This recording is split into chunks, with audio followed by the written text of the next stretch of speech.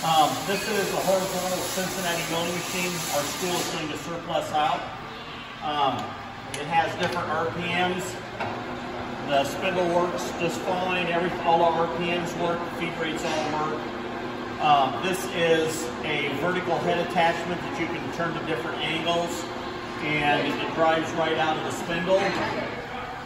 Um, it has rapid traverse in all directions, fully functional in all directions.